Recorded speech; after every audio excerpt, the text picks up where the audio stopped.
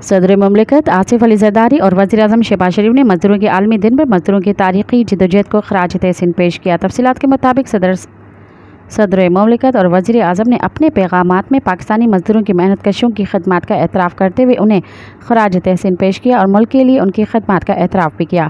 صدر آصف علی زرداری نے کہا کہ پاکستان میں محنت کش اور مزدور طبقے کے لیے ایک ایسا سازگار ماحول پیدا کریں جہاں ان کی قدر اور عزت کی جائے۔ اور منصفانہ اجرت مزدوروں کی سلامتی اور صحت کے لیے اقدامات کریں۔ انہوں نے کہا کہ مزدوروں کا عالمی دن پاکستان کی سماجی اقتصادی ترقی کے لیے ان تک کوششیں کرنے والے محنت کشوں اور مزدوروں کو خراج تحسین پیش کرنے کے لیے منایا جا رہا ہے۔ ہم مزدور کے وقار کو بر، برقرار رکھنے کے لیے اپنے عزم کا احاطہ اور ان کی تاریخی جدوجہد کو خراج تحسین پیش کرتے ہیں۔